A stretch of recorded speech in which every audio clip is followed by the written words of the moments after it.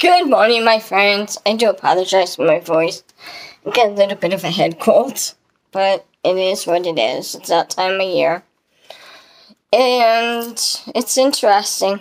Me and my friend Beth were going to be doing trunk or treat, and she come in, she goes, You're gonna be a construction worker and she told me where to go to get it. And I'm like, Okay, let me check out the prices at the orange box, because that's where I work.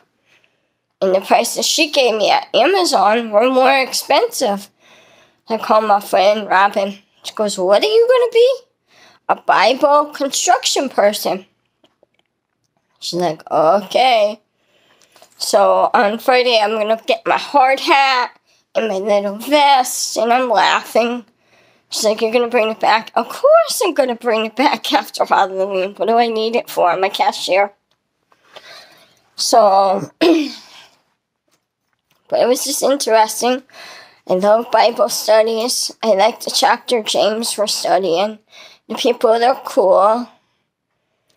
It, it's just, it's interesting because I, I let in people in my life more now because sometimes God takes a lot of people out to bring people in.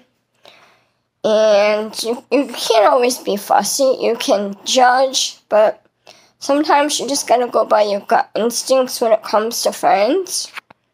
I like Beth. I like her husband and her son. They're cool people.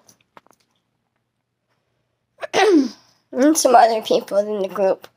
Can't talk too much about the group. It's like an Al Anon meeting. AA meeting.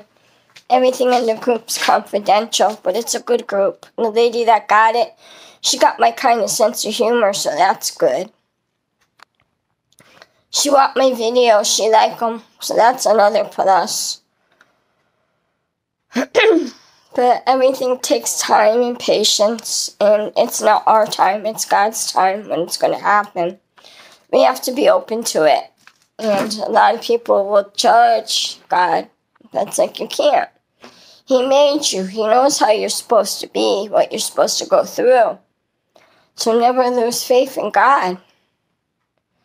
I mean, you might lose faith in other people, but remember, God always loves you, and Jesus, they're always walking with you, like footprints in the sand. When it gets too high, hard to walk, they carry you.